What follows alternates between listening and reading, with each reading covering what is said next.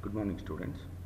Uh, here we go over the another type of uh, problems in uh, development of lateral surfaces of solids. So the problem statement here goes like a vertical cylinder of base diameter 50 mm and axis length 60 mm is cut by two planes which are perpendicular to VP and inclined at 45 degree to HP and passing through either side of the center point of the top face draw the development of the lateral cylinder. So this is a typical problem uh, normally where we get uh, two planes which are inclined at 45 degree and uh, passing through either point of the center face. Again as we uh, already discussed whenever we want to have development of the cylinder we need to have a top and front view of the cylinder okay to drop that one first we will go with the uh, xy line which is of uh, 0.13 uh, then we'll mention this one with the capital X and capital Y. And uh, the cylinder uh, looks like a circle in the top the diameter they have given as a 50 so make it uh, dark because the whole cylinder will be visible for us. Okay. And once this one is done in the front view the cylinder looks like a rectangle. So from the midpoint we just drop uh, two projections. Okay? So if you move here okay you can see an arc and a center dot okay which shows the center point in that one. So want to draw the front view of this one? E- easy method is you can just go to the rectangle okay? So the width of the rectangle will be equal to the diameter of the cylinder and the height of this one will be equal to height of the cylinder itself. So we will get uh, uh, this rectangle. You can just keep it here. Okay that will be that saves the time also and it will be easy for us to identify also. Okay once this one is done. You just uh, drop a two sorry one uh, radius to the circle from where you can just take the center of the cylinder. Okay so we say this is 60 and uh, 90 and change this uh, line thickness into the sorry type into the arc okay? So what this one is done uh, in order to locate the cutting plane okay? So the usual method normally we take a line uh, a very thin line. We uh, forget about the length. We'll go to the angle which is inclined at 45 degree to the HP we'll enter the angle and we'll just drop a, a line. So in order to place this one to the exact location so we'll take it from the tip of the line and uh, so here he says passing through the center point of the top face so this is the top face and this is the center point okay? And we'll go to the trim. We will trim that okay? So you can clearly identify uh, this is the top face and this is the center point of the top face okay? And this is inclined at uh, 45 degree to the HP so you can just drop it here and you can show that is what is 45 degree. Okay? And here it says either side of the axis. So this is the axis. We have drawn it to the one side. So one more side. That is to the right side we need to have. So we'll go to the mirror command and this line with respect to the axis will have it. Okay? So this is how exactly we are going to have to the either side okay. So now this and uh, this will be uh, visible for us. That will be a cutting plane. So we'll go with the axis line and the point 5 and uh, once this one is done so we'll go to the split line this till here and the split this line till here. Okay. So we'll select these lines and uh, we'll make it dark. Okay. So this is how exactly uh, the cutting plane of a cylinder looks like. So you can just mark the angle for this also. Okay so which is inclined at 45 degree to the HP okay this is how exactly we are going to locate the cutting plane. So when this one is done. Now how to uh, develop the lower portion? In order to develop that one we need to divide this circle into 12 parts. Okay in order to do that one we need to have a radius here so select that radius then the circular pattern option will get highlighted. So once you click that one so you will get here the count as a 12 okay and the angle of a circle is a 360 so click to the center then click to the finish. So we'll get the 12 parts in that one okay. So when this one is done. So you need to take a projection from each point. Already we have taken from here next point will be from here to the end of this one. So click here then pick one more point here then to the end of this one. Okay so that uh, whenever we we are going to take a reference then it will be easy for us to take that one. Okay so next again this point here then here then here and then here. Okay so once this much is done you can just go back to the mirror command and then mirror this one with respect to the this point okay so you can see easily the same point we are going to get because this is a symmetrical one. So you can just go to the extend to next command and extend this one till here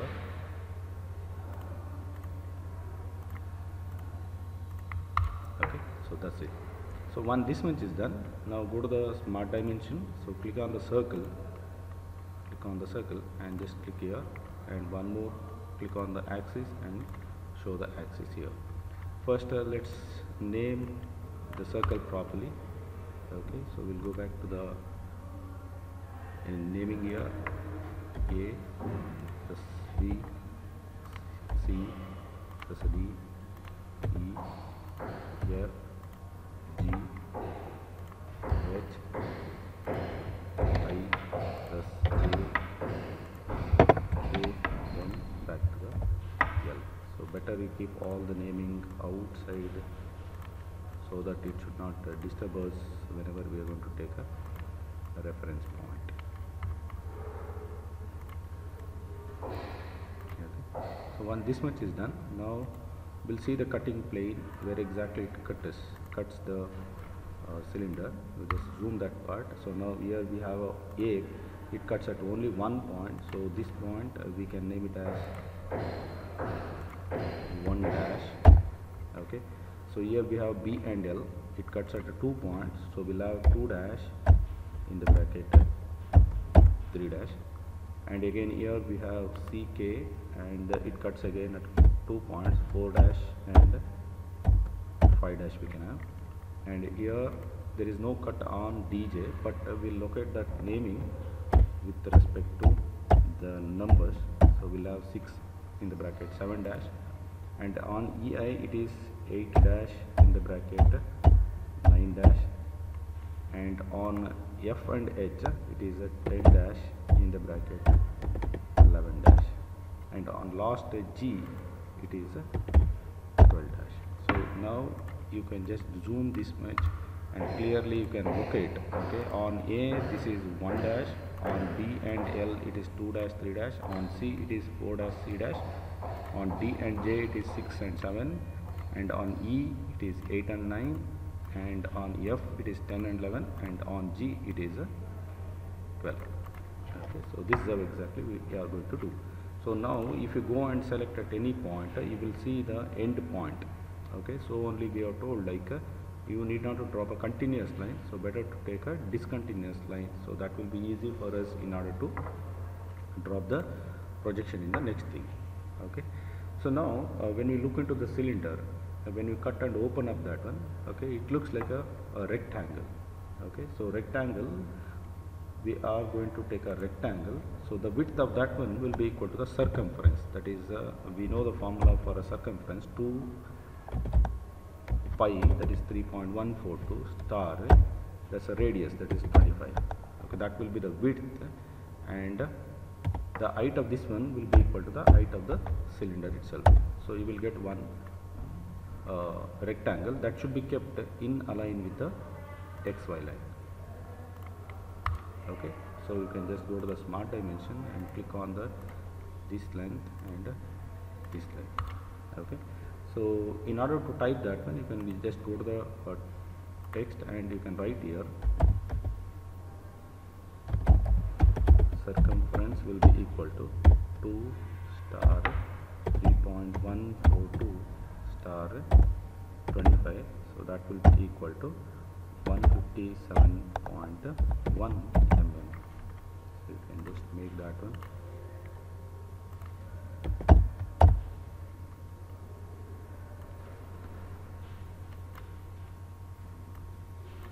Because uh, without that uh, dimension it is will not be able to do the uh, rectangle so one this much is done. Now we need to divide this uh, rectangle into 12 parts. In order to divide that 12 parts so we'll be having two options. The first will be uh, rectangular pattern okay? In order to get that rectangular pattern first we need to select the line okay? Once you select the line that pattern will get highlighted. You can go to the rectangle command.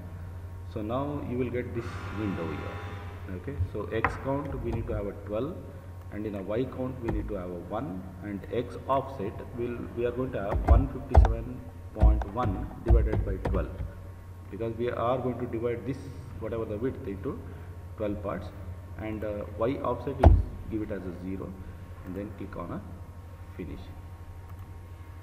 So easily we will get uh, these uh, 12 parts okay, once that one is done. Now just go back to the distance between and just mark any one distance either to the down or up. Okay now you can see this whatever the cylinder.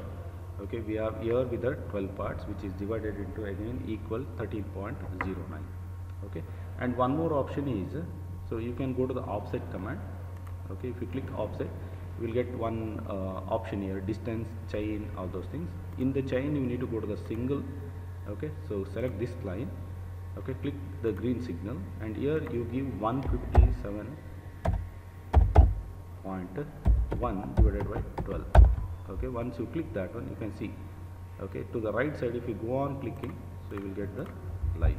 So you can just click for a 12 methods so if you compare both the things the rectangular pattern will be easy for us in order to do the uh, divide the rectangle. Okay? So one this much is done. So next thing will be with a capital letter you just name the uh, bottom portion. So that will be a b c d e f g h i j k then l then back to a okay and you just write the names here. That is the number which are going to cut on that one. So on a it is 1 dash. On the on a it is 1 on b it is 2 okay on c you can see on c it is 4 okay on d it is 6 on e it is 8 okay on f it is 10 and on g it is a 12 okay you can just identify by looking at this point. Okay and on h where is h? H is here. So on that one we are going to have 11 okay and uh, 9 then 7 then 5 then 3 then back to 1 okay so that will make us to identify the um, the alphabets with the numbers properly.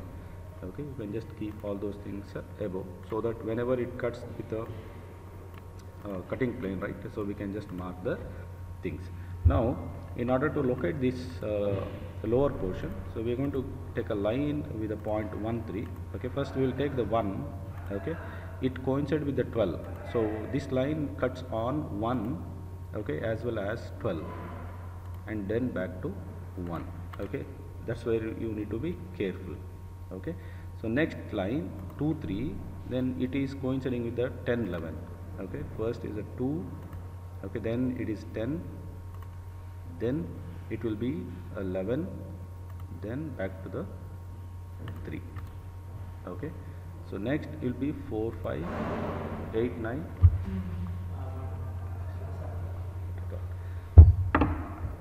uh, first will be that is 4 5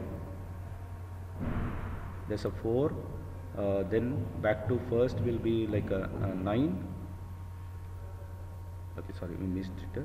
4 then 8 then it will be uh, 9 then it will be 5 okay so next it will be 6 and 7 so 6 is here and uh, 7 is here. Okay so now once that much is done so if you want you can just move these namings down. Okay so this is 1 here it is 2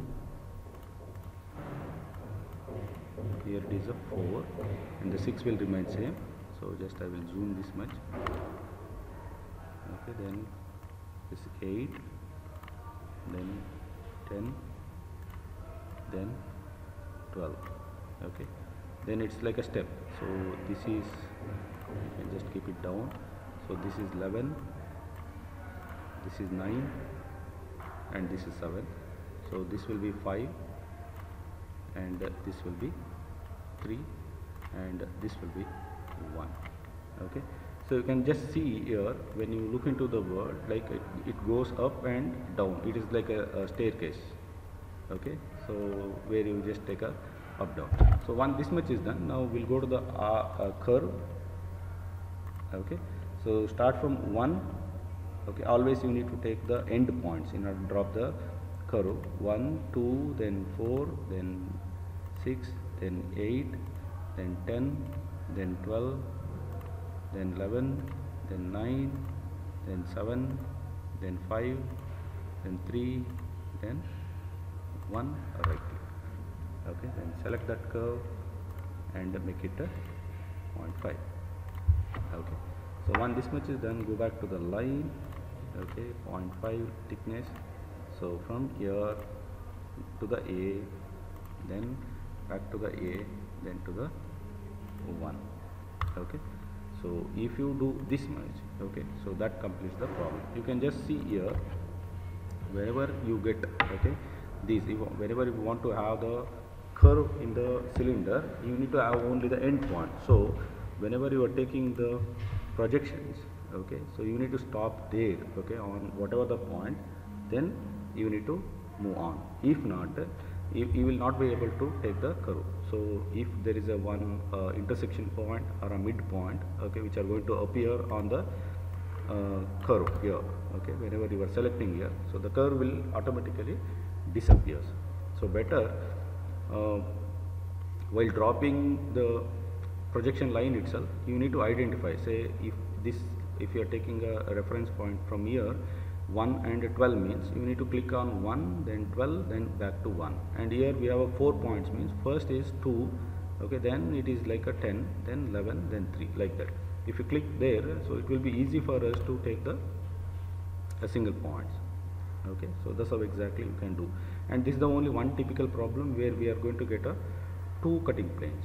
So rest and all the problems we are going to have only one cutting plane. So and already we are told right if it is inclined to the HP we are going to take a line then uh, pressing a tab will give the angle. So if it is inclined to the axis then in the angle will give 90 minus of axis inclination. Okay say like a 40 so whatever the angle. Okay so we'll just drop it here. So means whenever we are taking uh, the reference okay say here. Okay let's just let me take the two concept. Okay if I go to the angle between if this is inclination to the HP means this is the angle. Okay if it is inclination with the axis means this will be the angle.